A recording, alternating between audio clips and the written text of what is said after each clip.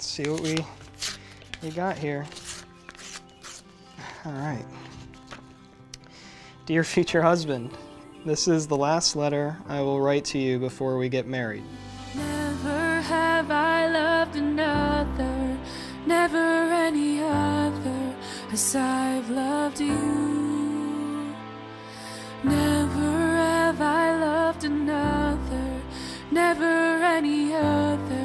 As I've loved you. Oh my gosh. Okay. Katherine, I cannot believe we are finally about to get married. It makes me think about how surreal it is that we even met to begin with. Coming from the two opposite sides of the country and meeting in the middle in Nashville. Thousand. I tried to picture what you would look like, sound like, and be like. I asked God to bring me someone loving, trustworthy, and true. I asked Him for a safe place where I could be myself. Maxwell Connor Straneva, all I can say is I am so happy it's you. I have been hurt before, and I don't trust easily, yet I trust you with all of my heart.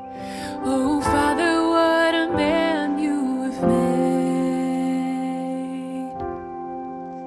like to think it was our moral compasses with a little help from God, too, that guided us along our journeys to eventually meet each other. 2.5 years later, we are ready to start our new chapter together that will carry us through the rest of our lives. I could not be happier. Dude, we should have been working our necks.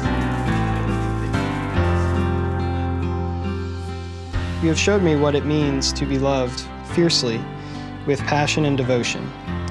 The love you have for me mirrors the love of God that He has for us. Love you all of the days of my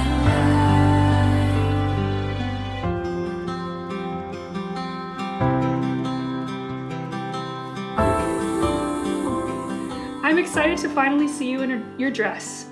I know I will be blown away by how beautiful you look.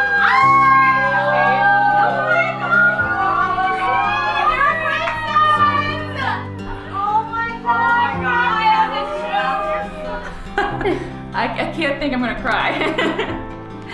Uh, I'm really happy for her. to hold. Oh, how beautiful, how simple yet how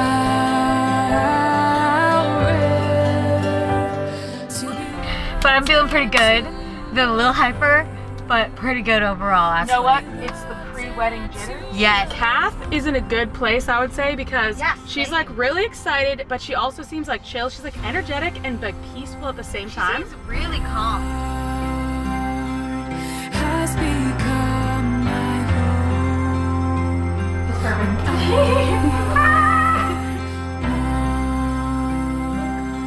I may be nervous while we are center stage today. You know my feelings on being in the limelight. But I'm not nervous at all about what our future holds together. I'm so certain that I found my other better half. I know we will live a life to- together full of higher peaks and low valleys, and we will make the most of all of our experiences together. You are truly my favorite person in the world. I love your introverted, salty, roasting, witty personality, and the time I spend with you is a treasure to me. Thank you for making me laugh and smile every day. There's no one I would rather go on this journey with. Thank you for giving me a million nicknames that only you and I truly understand. In our low points, I always found myself wanting to figure things out, draw closer to you, and love you more. I realized you became my safe place, and I knew you were the one I wanted to marry. Never have I loved another, never any other as I've loved you.